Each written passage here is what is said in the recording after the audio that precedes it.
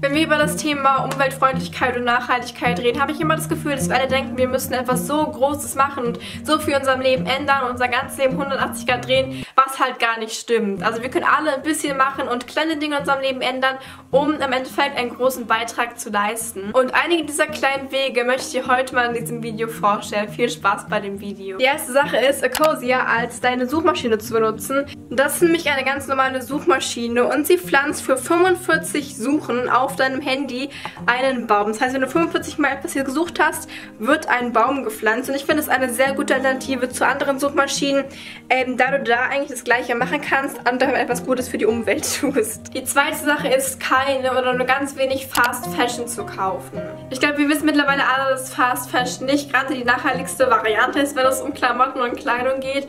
Es gibt dann zum Glück einige Varianten, zum Beispiel Secondhand zu kaufen.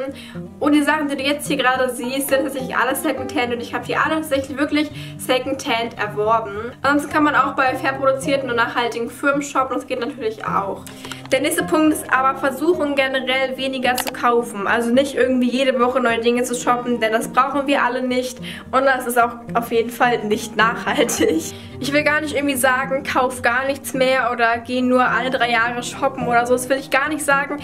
Aber ich möchte eher damit aussagen, versuche mal deinen Konsum zu überdenken und darüber zu reflektieren und achtsamer zu konsumieren. Ich glaube, das ist so die Sache, achtsamer konsumieren. Und naja, dieser achtsame Konsum hat ja nicht nur Vorteile für die Umwelt, sondern auch für ganz viele andere Aspekte. Und falls du wissen möchtest, warum ich seit letztem Jahr anfange, minimalistischer zu denken, zu konsumieren, zu leben, kannst du dir sehr gerne mal dieses Video angucken, denn ich habe da mal die ganzen Vorteile von Minimalismus aufgezählt und euch erzählt. Der nächste kleine Schritt zu einem nachhaltigeren Leben ist weniger zu waschen, beziehungsweise dann eher zu warten, bis eine Waschmaschine wirklich voll ist und sie dann anzumachen. Aber weniger zu waschen könntet ihr auch Dinge mehrmals anziehen. Natürlich jetzt nicht zu oft, also sie wollen nur noch hygienisch bleiben, aber nicht irgendwie ein Pulli nach einmal tragen, ähm, ich wollte gerade sagen wegschmeißen. Nein, das schon gar nicht, aber ähm, eine Sache nach einmal eine Stunde tragen oder so direkt in die Wäsche schmeißen. Außer natürlich, es gibt einen Grund, wenn es irgendwie dreckig ist oder so, dann kann ich es nicht verstehen. Aber ich glaube, ihr versteht meinen Punkt.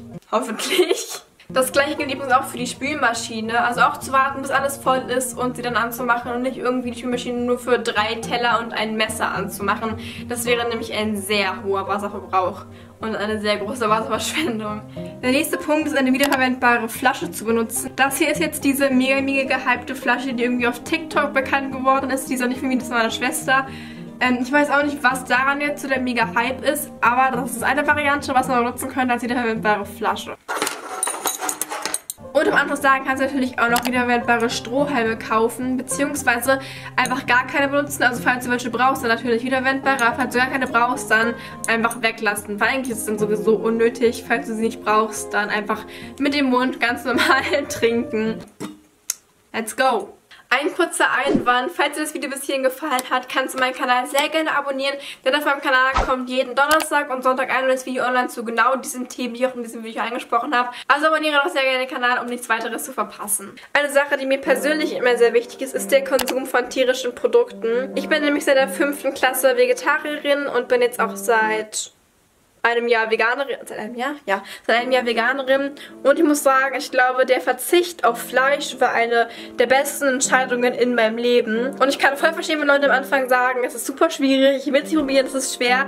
Aber ich kann nicht sagen, es ist nicht so. Weil jeder denkt das vorher. Ich hatte das vorher auch gedacht, dass es schwer ist, aber es ist wirklich nicht schwer. Und es würde schon helfen, so einen vegetarischen oder veganen Tag in der Woche zu haben. Oder irgendwie zu sagen, ich esse morgens nur vegan und dann mittags und abends esse ich dann doch mal ein Stück Fleisch oder so. Aber das Ganze ein bisschen zu verändern und jeden Tag vielleicht ein bisschen weniger zu konsumieren, ist sehr hilfreich. Oder kann sehr hilfreich sein.